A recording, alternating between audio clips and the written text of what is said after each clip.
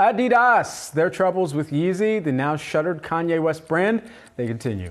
Adidas set to lose 1.2 billion euros unless it manages to sell leftover products. And even at a lot of the resale retailers, you see these just sitting on shelves right now. I mean, I've kind of done an inventory check at a few of the stadium goods, the flight club spots, and I don't see them flying off shelves like they used to. Well, they were kind of cool, Brad, but you know what? Kanye West is not cool anymore for like 90,000 different reasons, so I'm not surprised to see them sitting on the shelf collecting dust. I mean, let's be honest. They're ugly shoes, but ugly was cool for a little while, so because of his name attached to it.